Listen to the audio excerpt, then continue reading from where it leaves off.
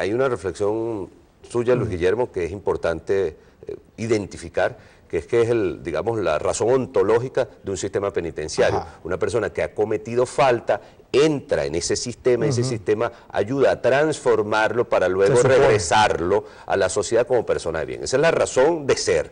Si eso no funciona así, no tiene sentido, está pervertido. De tal manera que el esfuerzo que se está haciendo para que funcione así, y en efecto, en más del 50% del sistema penitenciario ya es así, un nuevo régimen con estas características, disciplina plena, están uniformados, debidamente afeitados, cumpliendo una rigurosa agenda de deporte, estudio y sobre todo, por indicaciones del presidente que ha hecho mucho énfasis en esto, en trabajo productivo. Los privados de libertad, estas son las femeninas que visten ese uniforme y ya he dicho, por ejemplo, en el INOF, nosotros estuvimos haciendo una inspección en el rodeo 2 y 3 la semana pasada, nosotros como comisión, donde fueron incluso hasta diputados de oposición y observaron el desarrollo de esta disciplina.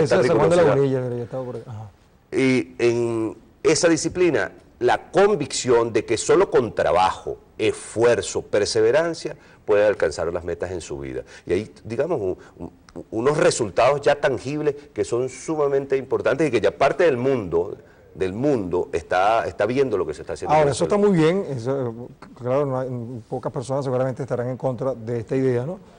Sin embargo, eh, si la persona recibe como no, un buen trato en la cárcel, disciplina, amor, ah, amor con disciplina, todo lo que tú quieras, pero tiene dos, tres años o cuatro años más de la cuenta que él había sacado en torno a el castigo que debía recibir. Entonces, bueno, yo no voy a seguirme poniéndote uniforme y esta cosa. Sí, ese es un problema, el problema del retardo procesal y nosotros en la comisión hemos sido abanderados de esa preocupación, igual que, otras personas e instituciones del país. Pero lo importante es que frente al problema, el jefe de Estado ha dado instrucciones precisas. Ahora, ¿cuál es nuestra percepción?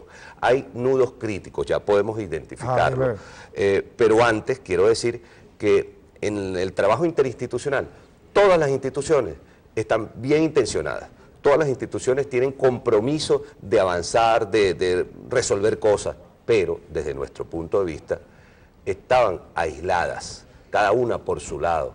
Por un lado la defensa, por un lado la fiscalía, por un lado el Ministerio eh, de Servicio Penitenciario, por otro lado los órganos tribunalicios.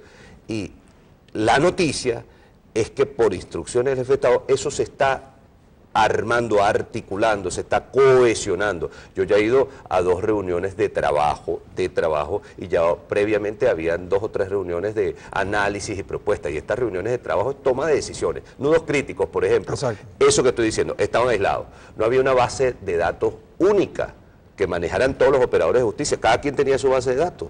Eh, tercero, eh, la mala infraestructura en la que estaba el servicio penitenciario impedía desarrollar acciones concretas en materia judicial. Sobre eso se está trabajando. Cuarto, hay un problema que se tomó una decisión en sala plena para separar el alguacilazgo del manejo de los privados de libertad dentro del Palacio de Justicia. Entonces solo lo hacen los guardias nacionales. Y los guardias nacionales de repente vienen un traslado de 100 privados de libertad y vienen 20 guardias nacionales. Y esos 100 privados de libertad van a, 30 tribunales distintos dentro del Palacio de Justicia. Entonces tiene que quedarse uno en calabozo, eh, otros tienen que subir al privado de libertad, permanecer a las afueras del tribunal. En fin, es un número limitado de guardias nacionales y se estaba produciendo una cosa que se llama no traslado ficticio, es decir, efectivamente se daba el traslado, pero imagínese usted, se quedaban en los sótanos sin que se era, que pudieran subir a juicio. Estoy hablando de tres pisos más arriba del sótano del Palacio de Justicia a las salas de juicio. un doble trauma porque él va con la ilusión de que por lo menos le avance en su proceso.